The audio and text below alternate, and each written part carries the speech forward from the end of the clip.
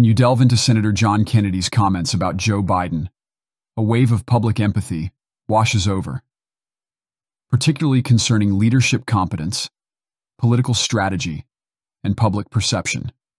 You know, Senator Kennedy, this is a big deal that one of your Democratic colleagues, Senator Warner, is having this meeting. When Biden was asked about this, he said, Oh, that's just one senator. But it sounds like a lot of senators have concerns. And I'm wondering, you work with these senators every day. Do you think their concerns were assuaged tonight? I'm not sure, Kayleigh, that uh, interviews like the president gave tonight matter much at this juncture. Uh, you can't make this catwalk backwards. People saw what they saw in that 90 minute debate. Uh, and I think most of them think that it's only a matter of time before President Biden stumbles again because they understand that old age doesn't get better, it gets worse. Fairly or unfairly, I think most Americans have made up their minds.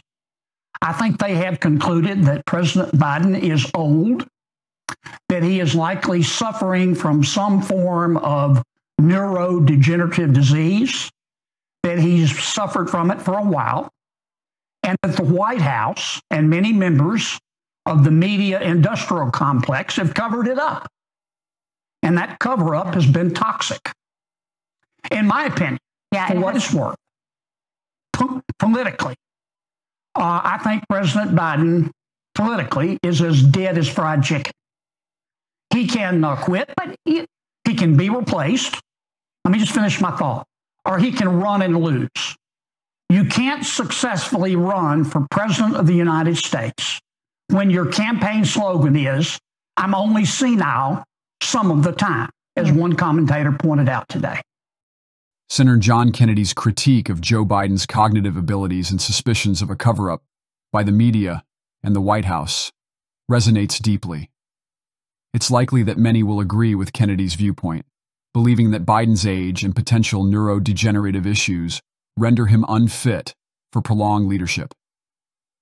Kennedy underscores the critical need for a president to be mentally and physically capable, raising serious doubts about Biden's ability to govern effectively amidst his decline. This touches on themes of authenticity, personal responsibility, and the harsh truths of aging, painting a vivid picture of the struggle between the inevitability of aging and its impact on one's capabilities. Kennedy's emphasis on confronting uncomfortable truths, practicing honest self assessment, and promoting transparency in leadership is profoundly appreciated. His remarks ripple through the public consciousness, influencing collective psychology and political stability. The awareness of Biden's cognitive decline stirs uncertainty and distrust among voters, potentially undermining confidence in the administration's decision making and leadership. Public reaction to Kennedy's comments is telling, with significant implications for the political landscape. Biden's narrative of cognitive decline strikes a chord with various population sectors, shaping voter behavior and political discourse. This narrative can be seen as either galvanizing political support or deepening partisan divides. The focus on competence and transparency becomes crucial as perceptions of a cover up by the media and the White House pose ethical challenges in upholding public trust and the principles of democratic governance particularly in light of deteriorating health.